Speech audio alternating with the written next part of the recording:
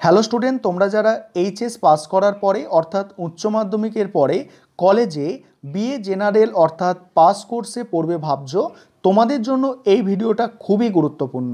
কারণ এখানে আমি আলোচনা করব তোমাদের কটি সেমিস্টার আছে, কত বছর সময় লাগবে, কত নম্বর পেলে পাস, সমস্ত কিছু কিন্তু এই ভিডিওটায় আমি আলোচনা করব। আর ফর্ম ফিল করার আগে তোমাদের কিন্তু ভালো করে এটা বুঝে নেওয়া দরকার। নইলে ফর্ম ফিল করে তারপরে যে সাবজেক্টগুলো নেবে পরবর্তীকালে কিন্তু ফেল করে যাওয়ার কিন্তু চান্স আছে। এবারে বুঝে নাও, তোমাদের টোটাল ছটা সেমিস্টার থাকে তিন বছর সময়। তাহলে কি বললাম? ছটা সেমিস্টার তিন বছর সময়। প্রত্যেক বছর, অর্থাৎ এক বছরে দুটো করে সেমিস্টার তোমাদের পরীক্ষা দিতে হয় এবং প্রত্যেক সেমিস্টারে চারশো নম্বর করে পরীক্ষা হয়। ছটা যেহেতু সেমিস্টার, চার ছয় চার ছয় চব্বিশশো নম্বরের মোট তোমাদের পরীক্ষা দিতে হয়। এবারে তোমাদের প্রথম যে সেমিস্টার, প্রথম সেমিস্টারে দেখো, প্রথম সেমিস্টারে সিসি পেপার দুটো দিতে হয়। এবারে আসি, এই সিসি পেপার কি? এই সিসি পেপারটা তোমাদের কিন্তু খুব ভালো করে মনে রাখতে হবে। তোমরা যখন ফর্ম ফিল করবে, প্রথমে তোমাদের দুটো সাবজেক্ট চয়েস করার জন্য দেবে। সেই দুটো সাবজেক্ট যেগুলো চয়েস করবে, সেইগুলো তোমাদের মেন সাবজেক্ট অর্থাৎ সিসি পেপার হবে, ঠিক আছে? আর তারপরে হচ্ছে জিই অর্থাৎ জেনারেল ইলেকটিভ তারপরে আরেকটা সাবজেক্ট চয়েস করার জন্য দেবে, অর্থাৎ মোট তোমাদের তিনটে সাবজেক্ট চয়েস করতে হবে।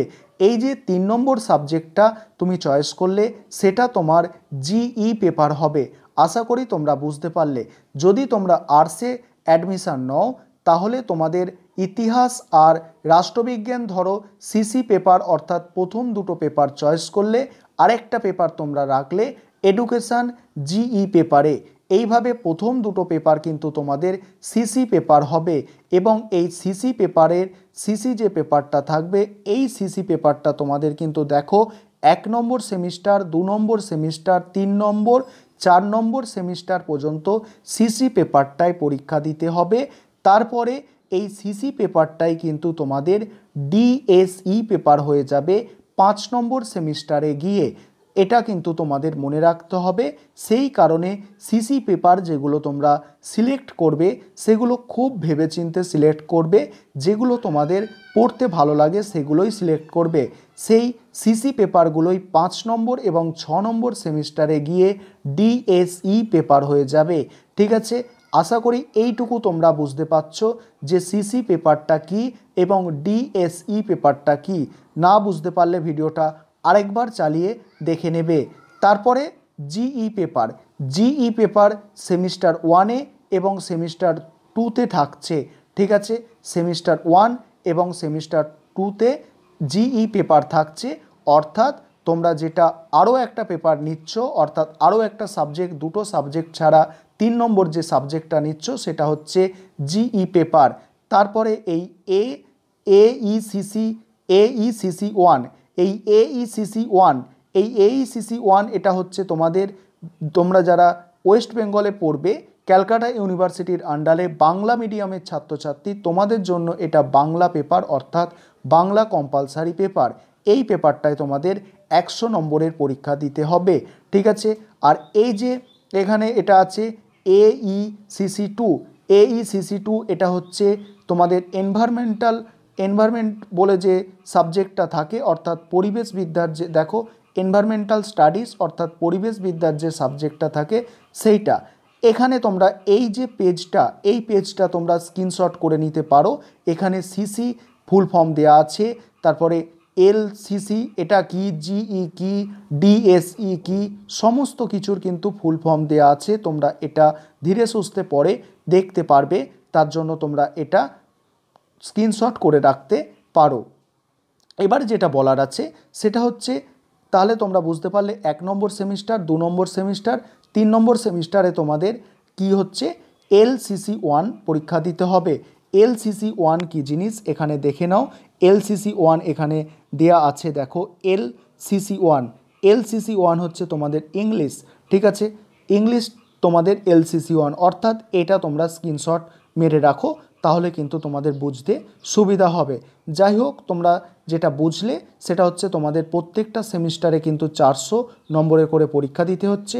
আরেকটা জিনিস দেখো, এই যে সাবজেক্টগুলো আছে, এই মেন সাবজেক্ট এইগুলো হচ্ছে তোমাদের মেন সাবজেক্ট এই যে সাবজেক্টগুলো আমি গোল করে দিচ্ছি, এই সাবজেক্টগুলো কিন্তু তোমাদের হচ্ছে মেন সাবজেক্ট এই সাবজেক্টগুলো তোমাদের মেন সাবজেক্ট আর এই মেন সাবজেক্টগুলো তোমাদের একশো নম্বরের মধ্যে পঁয়ষট্টি নম্বরের লিখিত পরীক্ষা হয় এবং পঁয়ত্রিশ নম্বরের তোমাদের এই টিউটোরিয়াল এবং প্রজেক্ট এই রকম হয়। অর্থাৎ তোমরা এইচএসে যেভাবে প্রজেক্ট করেছ সেই রকম প্রজেক্ট টাইপের হবে বা পার্স মানে কলেজে যাওয়ার পার্সেন্টেজ অনুযায়ী একটা নম্বরও দেওয়া হয়। সেটা এই পঁয়ত্রিশ নম্বরের মধ্যে পড়ছে। আর এই পঁয়ষট্টি নম্বরের তোমাদের লিখিত পরীক্ষা হচ্ছে প্রত্যেকটা সাবজেক্টে। আশা করি তোমরা বুঝতে পারছ। এবারে যেটা আলোচনা করব, তোমাদের পাঁচ নম্বর কত থাকছে, এইবারে তোমরা দেখো, এখানে একটা স্ট্রাকচার দেয়া আছে, যেখানে বলা হচ্ছে যে তোমরা যদি থার্টি পার্সেন্টের কম পাও, তাহলে তোমাদের স্কোর কি পয়েন্ট কি জিরো হয়ে যাচ্ছে, তাই তোমরা ফেল হয়ে যাবে। থার্টি থেকে ফর্টি পার্সেন্ট যদি পাও, তাহলে তোমরা মোটামুটিভাবে পাস করবে, ঠিক আছে? তারপরে ফর্টি থেকে ফিফটি পেলে তোমাদের সি প্লাস দেওয়া হবে, ফিফটি থেকে সিক্সটি পেলে তোমাদের বি দেওয়া হবে, সিক্সটি থেকে সেভেন্টি পেলে তোমাদের বি প্লাস দেওয়া হবে। এইভাবে তোমাদের নাম্বারের যে গ্রেড, সেই নাম্বারের গ্রেডটা এইভাবে সিস্টেম করা হয়েছে। এখানে দেখো তোমাদের পরিষ্কার লেখা আছে যে এফ পেলে, অর্থাৎ এই এফ পেলে তোমাদের কিন্তু ফেল, সি পেলে কিন্তু তোমাদের সি যদি পাও সি পেলে তোমাদের কিন্তু দেখো সি পেলে তোমাদের কিন্তু পাস করিয়ে দেওয়া হবে, কিন্তু অনার্সের ক্ষেত্রে সি পেলে কিন্তু পাস করিয়ে দেওয়া হয়, অনেক হয়, কিন্তু এখানে অনার্সের ক্ষেত্রে কেউ যদি এই সি পেয়ে থাকে, তাহলে কিন্তু তার কন্ডিশান কিন্তু খুব খারাপ, কারণ চল্লিশ পেয়ে পাস করাটা মোটেও ভালো জিনিস নয়। তোমরা টার্গেট রাখবে, কমপক্ষে কিন্তু পঞ্চাশ অর্থাৎ ফিফটি পার্সেন্ট নম্বর পেয়ে পাস করতে হবে। কারণ তোমাদের দেখো পঁয়ষট্টি নম্বরের থাকছে লিখিত পরীক্ষা এবং তোমাদের পঁয়ত্রিশ নম্বরের থাকছে প্রজেক্ট টাইপের এবং তোমাদের যত অ্যাটেন্ডেন্স দিচ্ছ তার উপর ভিত্তি করে। ঠিক আছে? সেই কারণে পঁয়ত্রিশ যেহেতু অ্যাটেন্ডেন্সের ওপর ভিত্তি করে থাকছে এবং প্রজেক্টের ওপর ভিত্তি করে থাকছে, পঁয়ষট্টি লেখা থাকছে, তোমরা আশা রাখবে সবসময় এইট্টি পার্সেন্ট অর্থাৎ এইট্টি পার্সেন্ট টার্গেট করে এগোবে বা ভালো স্টুডেন্টরা নাইনটি পার্সেন্টও টার্গেট রাখতে পারো। আশা করি তোমরা ব্যাপারটা বুঝলে আর তোমরা কিন্তু এটা স্ক্রিনশট নিয়ে নাও আর কমেন্ট করে জানাবে যে তোমাদের কেমন লাগল ভিডিওটা